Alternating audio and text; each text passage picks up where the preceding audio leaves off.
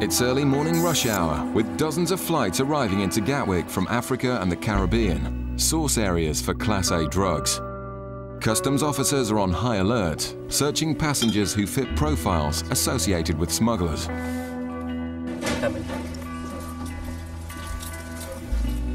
Okay, I've just x-rayed a passenger's bag and you can see there's clearly two uh, rectangular shapes there, so I'm just going to cut the bag open and have a further inspection of what those shapes are. The passenger told immigration he has no money, will be staying in Britain for two months, and a friend has agreed to pay all his expenses. It's a story Mike has heard many times before from drug couriers. You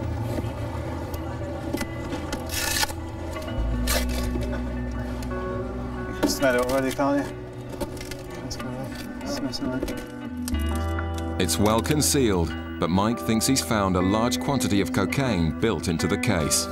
There it is. There's a white paste in there. Yeah. The paste tests positive for cocaine. So, good result. Let's go, Nick. 1055, yeah? So I've conducted a test on the bottom of your suitcase, which has shown a white paste. I've con- a white paste. Yes. Yep, I've conducted a test on it which says it's cocaine. Theref- cocaine. Therefore, the time is 10:55. Mm. I'm placing you under arrest on the suspicion of being involved in the importation of a controlled drug. Okay, if you could follow this officer, please. Okay. Sorry. Right. Well, that's all going to be discussed with you later. I will remind you that everything you say will be noted down now. Okay. The attempted importation has failed, Sit on that seat there for me, please. and it was a long way from being the perfect crime. He's got a really duff invitation letter. The grammar of it was awful. Um, there was capital letters mid-sentence. It wasn't very good at all. There was also a signature on the bottom of the invitation letter, and the writing was very, very similar. So I assume that it was written by him himself. It's a serious crime carrying a maximum of 15 years. Underpants down. Okay, up. The officers want to find out if anyone else is involved, and the investigations could take some time. Yeah, so that, um, we've just nicked someone, so there's a good chance I'll be late.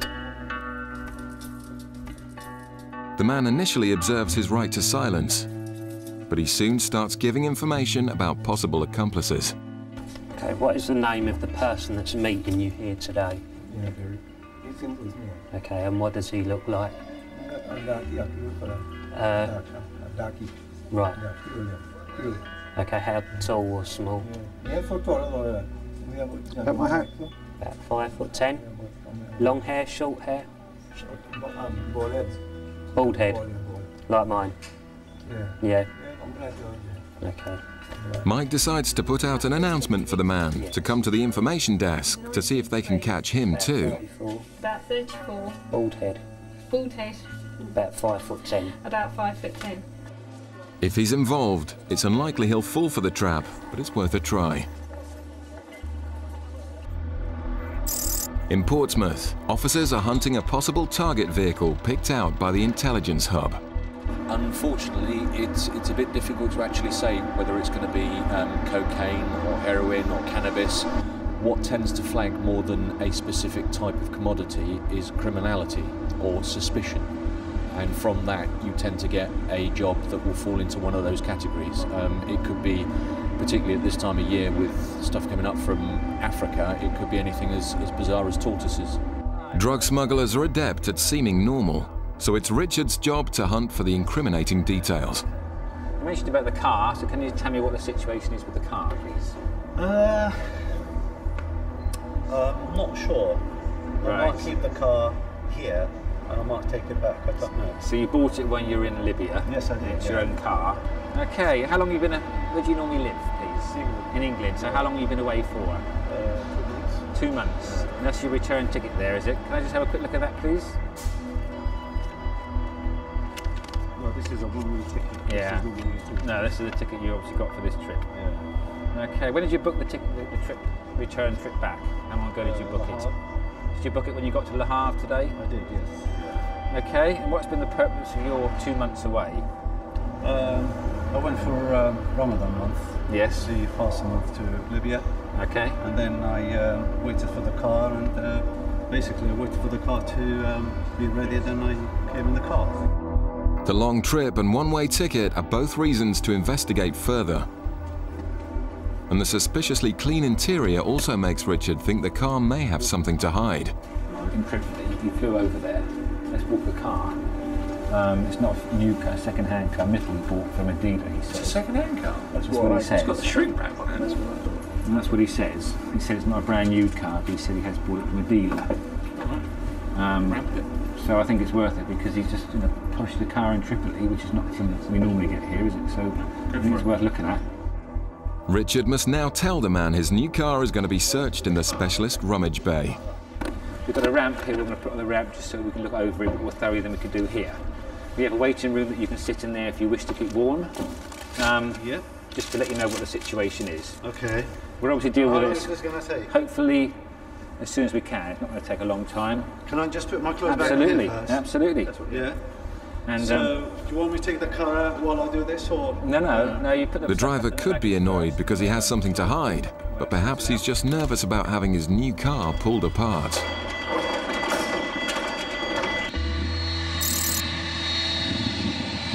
The smuggler caught in Gatwick is now being transferred to the custody cells, where the reality is beginning to sink in. You just stand in front of that desk for me. Hello there. Is there anybody that you want t- telling, a friend or family that may be meeting you or worried where you are? I would like to call, I would like to let my wife know. The man is locked up, while the officers out back work out how much he'll be charged with trying to smuggle.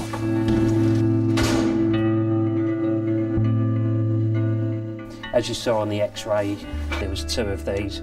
Um, from what we've got here, we've estimated that the total amount of cocaine could be two kilos, which has a street value of about £100,000. And in the terminal, the person meeting him has answered the announcement and has been arrested.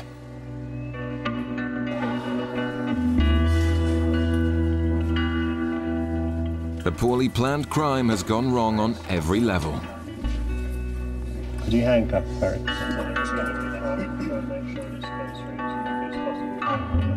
We've gone to the information desk in the North Terminal um, where we've put out a call for the person meeting the courier today and a gentleman has come forward and said that he was here to meet him. We've subsequently arrested him and he's been brought here today to the custody suite and also the driver of the, the vehicle that was also here to meet him, he has also been brought here, the taxi driver. All three are under arrest and placed in cells for questioning. It's now up to the investigation team to find out who was responsible and ensure a successful prosecution. It's another important seizure, but with all the suspects claiming to know nothing about the cocaine, it could take some time to work out who's guilty.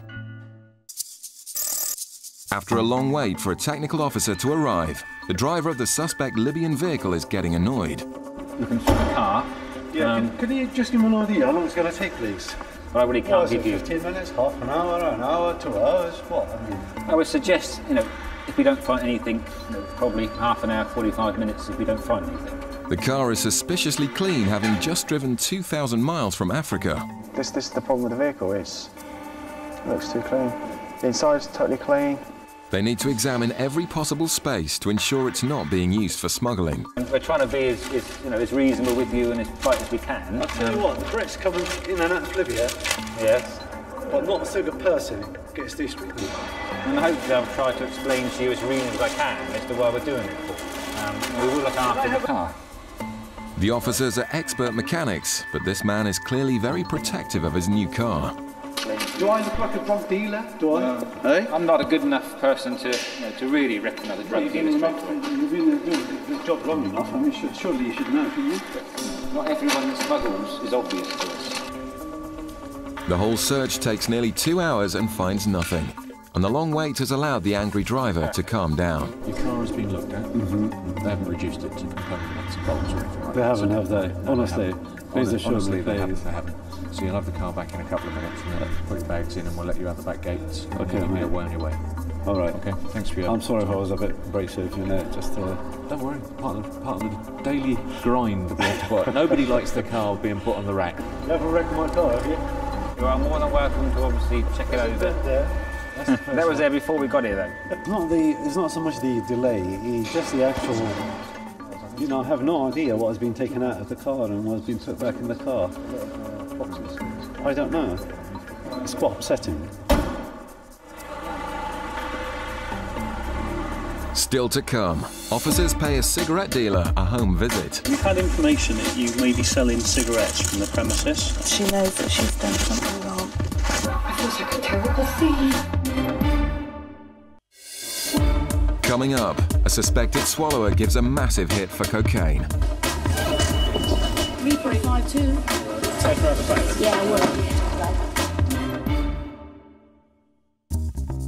In Bristol, the usual officers have been joined by the National Strike Force to carry out house searches on people suspected of dealing illegal cigarettes. All the intelligence has come from anonymous tip-offs on the Customs Confidential Hotline. I've got, I think it's 19 packages from Tobacco NIU, um, hopefully to execute today. For officers entering suspects' homes, it can be dangerous. I've Yeah. in a situation before where the whole street's come Yeah, out and I don't yeah, know, uh, you don't yeah. want to hang around. No, once you're on the ground. If you don't like it, you're out. Yeah. So, It may seem heavy-handed for selling a few cigarettes, but the black market costs the Treasury £2 billion a year. We're going to this lady in Bristol. Information's been received that she could be selling cigarettes at her home address. Started selling cigarettes in the past two weeks and have been dealing Lambert and Butler. But you've also got to be very mindful with this that a lot of this could be malicious as well, so it could just be a, a stitch up. Many tip-offs are found to be false, so the officers initially go in without a warrant. And that means negotiating permission to search the house. Hello there, this is not. Hello, I'm from Revenue and Customs. Right, basically, we've had information that you may be selling cigarettes from the premises. Okay, I'd like to just pop in and have a chat with you about it, if that's all right. Yeah, Okay. think of what we simple. I thought of all of that. I'm in trouble. Matt, Luckily, the woman confesses and lets them in. Basically, what have you been doing? Your son's brought cigarettes back from holiday. You've been basically selling the cigarettes. And all the evidence the officers need is sitting on the dining room table. We need to do a search of the house, if that's okay. Yeah, there's a few in the front bedroom, which is a ransack. And that, that's all it is. Right, okay. Do you want that make me feel like a terrible thief? I feel like a terrible thief. And she's obviously a bit nervous. She knows that she's done something wrong. She's got a kitty set up downstairs with all her facts. There's a big suitcase here that shows that somebody travelled to Palma in Spain on the 9th of October. Whether that was her or her son. It's a very big case, very typical cigarette smuggler's case. Is that your big suitcase up there, the big half-sided one in the spare room? Well, we all use it, you know. Right. You're All not right. committing an offence by selling these cigarettes, okay? So the goods will be seized from you. And with perfect timing, a customer turns up to find the shop closed indefinitely. And the guy just come to the premises and we've got his shop. Oh, right. What, somebody's just come and gone? Looks like we've just had a buyer that's just... The black market is clearly booming in Bristol. In Gatwick, the Customs Intelligence Hub has given officers information that a drug swallower is coming in from the Caribbean.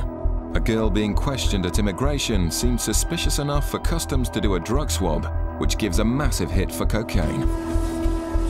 3452. Morning, madam. Drug swallowers are often forced into the crime and told nothing of the dangers and the possible lethal consequences of a burst package. She said that she actually came in with someone named Peter. She met him on the beach and he's got all her money, £400, and he's already gone through. So it doesn't look too good, you know. The suspect has denied taking cocaine, so a positive urine test would suggest she has swallowed drugs. There's no line by the THC, so she's positive for cannabis. There's no line by the COC, so she's positive for cocaine as well, which would indicate to us that she has cocaine in her system. The woman will now be arrested and x-rayed for packages. Showing up positive for cocaine. Yeah, okay. But to the officer's frustration, she's now claiming to have used drugs. I have taken cocaine. She has taken it. Right, okay. She had taken, yeah? She has taken. Uh, why didn't she tell me earlier when I put her? She said I was worried. She was worried. Right, okay. But the officers aren't convinced. So we just want to be sure you haven't got any internal consumer in you. See, no problem. They suspect she may be pregnant and so will be taken to a private hospital to have her body scanned safely. That means waiting for another interpreter, and that means putting on the white suit. Because she's, um, we've got her on suspicion of swallowing, um, we always put them in a white suit because what we'd be concerned of, if she maybe started to pass packages in the cell, whether she may pick them up and harm to herself. Sometimes it might be possible that she could retry and swallow them again. We can see through the suit, that's why we need her in, in the white suit. The officers are extremely concerned for the woman's health, and all the signs are pointing to a definite swallower. If so, she'd be looking at a lengthy sentence. It's a bit concerning because with her, her original story, when we asked her, she, she doesn't touch drugs, she doesn't drink. It's then, oh, well, I smoke marijuana, um, I have taken cocaine. So her story is continually changing. When we take her down, I, I really wouldn't be surprised if we didn't see packages in her body from the way her story is. It's a nervous ride to the hospital, which could decide the woman's future. Customs officers also stop smugglers who try to bring in drugs using the postal system. In October 2002, a routine parcel exam uncovered a massive haul of drugs hidden in a shipment of doors. And I recall getting a, a phone call at home that there'd been a major seizure. Within it, they found holdalls. Examining the holdalls, they found packages which turned out to be a mixture of Class A and B drugs. Um, and I can recall getting a phone call about two hours after that to uh, advise me that they had found something else. In the box were live ammunition rounds and something altogether more frightening. They came across another box, and you can imagine their surprise when they opened it to find a grenade. And I think everyone stepped back about half a mile. The decision was made to do a controlled delivery and catch the culprits in the act. But all they had to go on was the consignment address in Devon and a phone number which belonged to Timothy Andrews. One individual in particular, Timothy Andrews, we conducted surveillance on him uh, over that weekend. Officers tailed Andrews round the clock for three days. Mobile phone analysis identified Andrews' partner in crime, Andrew Griffiths. The race was now on to get the package delivered on time. The team replaced all the drugs and ammunition with props and prepared to make the delivery. The controlled delivery commenced on the uh, on the Monday morning. One of our officers acted as the TNT delivery driver. He drove it down to the address, the consignment address in Ivybridge. Uh, but within the actual consignment, we had placed um, an audio device, in fact, a number of audio devices. The officers were hiding, waiting for the right time to strike. Uh, when it became clear that the package was been broken into and been dismantled, um, I decided at that point that I would call the knock. 50 armed officers stormed the building and found two henchmen. Andrews and Griffiths were elsewhere, but were still being followed and were arrested. They would plead not guilty. But customs investigators used mobile phone cell tracking information to tie them to the crime scene. But on, on this occasion and on four previous occasions where consignments had gone to, to that address, that they had been in the vicinity. Um, and that's more than coincidence. The evidence convinced the jury it was Andrews and Griffiths behind the crime. The henchmen were acquitted, and the sentences handed down to the smugglers made a happy ending for the officers. Um, sentences handed down by uh, judge, trial judge, uh, resulted in, in a 40-year sentence for Griffiths and a 39-year sentence for Andrews. But they will be serving at least 15 years. Back in Bristol, Russ and Jane haven't found any more cigarettes and decide not to prosecute the woman. Instead, they want her to turn informant. But um, do you think we can get some, try and get some details about her son? His name? I think we've got to if we can. Young lad, where's he, where's he picking these up for? The, uh, the. No, I'm not getting you into trouble. Right, you don't want to tell us anything about him then? Trouble, no. Could you pass on a little message to him? He is in danger of uh, not only losing his cigarettes but losing his vehicle, etc. So it could be quite hefty for him. So. I don't know, it's on Seizing the 9,000 cigarettes, they now want to get out before it turns ugly. We don't really have the public on our side because the locals think she's providing a service, so people aren't sympathetic to us. So sometimes, once people have clocked who we are, it's better to just get the fags and get out, isn't it? In Gatwick, the suspected swallower is back with the x-rays.